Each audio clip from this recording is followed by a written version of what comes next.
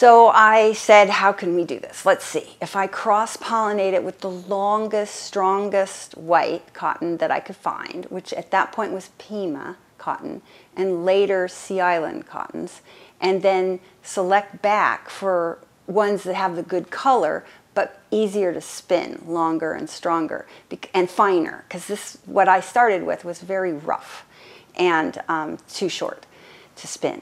Um, so that's what I did. I cross-pollinated and the the flower of the Pima cotton with the these beautiful brown cottons and saved the seeds and grew them up in pots and saved those seeds. It takes about seven to ten generations, and each generation takes a year to get uh, uh, what's called an open pollinated variety.